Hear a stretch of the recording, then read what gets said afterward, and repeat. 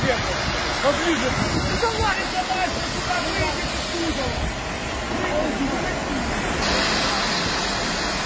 Э!